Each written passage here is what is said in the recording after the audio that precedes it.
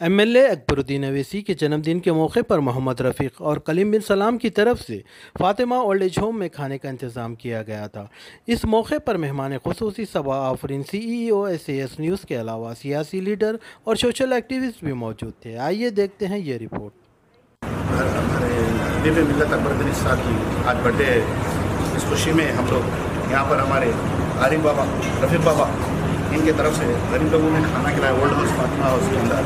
और हमारी गुजारिश है, अकबर साहब की सेहत के लिए दुआ दा फरमाइए। और और आगे बढ़िए हमारी जमात। इस वजह से हम लोग ये प्रोग्राम करें हमारे रफ़ीक बाबा। बहुत बेहतरीन है और अकबर साहब के बहुत बड़े फ़ायदे हैं। और अकबर साहब की ये हम लोग और तमाम से ये कहना कि मैं यहाँ पहली बार आई हूँ। यहाँ पे आके मुझे बहुत खुशी हुई। मुझे ऐसा लगा कि मैं यहाँ पे कुछ लोग जिन, जो लोग हैं यहाँ पे, उनकी खिदमत करके मुझे इतना अच्छा महसूस हुआ कि आज तक लाइफ में इतना अच्छे अच्छे काम करके मुझे नहीं हुआ। तो मैं ये कहना चाहूँगी कि इन लोगों की जो मजबूरी है, हम सब इसको समझें। समझ के हम ये लोगों की मदद करें। जैसा आज यहाँ पे अकबर साहब की बर्थडे पार्टी मतलब बर्थडे पार्टी नहीं करके यहाँ पे खाना तकसीम किया गया गरीबों में। तो वैसे ही आप लोग का बर्थडे हो तो आप लोग भी यहाँ पे आइए। अपनी तरफ़ से लोगों को अच्छे से खाना खिलाइए जो आपको उससे दिल में खुशी मिलेंगी आपकी परेशानियाँ दूर होंगी। ये लोगों का कोई नहीं है हम सब इन्हीं के हैं। तो हम ये समझें कि ये हमारे हैं हम इनके हैं। तो यही सोच के हमें आगे बढ़ना है और हमें इन लोगों की मदद करना है। अल्लाह के बाद में हम लोग हैं जो लोगों की मदद करते हैं इनकी तकलीफ़ों को समझते हैं। अल्लाह ताला मैं ये कहूँ कि अल्लाह ताला उन इन, इन, इनकी औलादों को हिदायत दे है कि खातन जो लेडी होते हैं, उनकी वजह से ये होता है।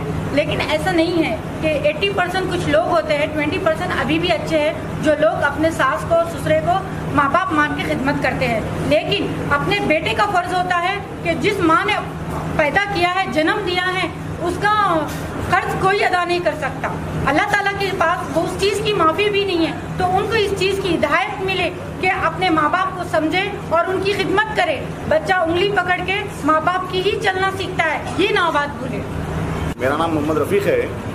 सब में अहम चीज़ तो अकबर साहब का जो आज बर्थडे था, इस वजह से लोग केक काटते, वगैरह वगैरह, जो भी करते, जो काम में नहीं आती। हम लोग एक प्लान करेंगे भाई वो बर्थडे की जगह कुछ ऐसा करेंगे तो हम लोग कर लेंगे और मैं सबसे गुजारिश करूँगा, बच्चे, बूढ़े, जवान, अकबर साहब की सेहत के लिए दुआ करें। क्योंकि अकबर साहब बहुत कुछ करते हैं हमारे वास्ते। ये कुछ भी नहीं है।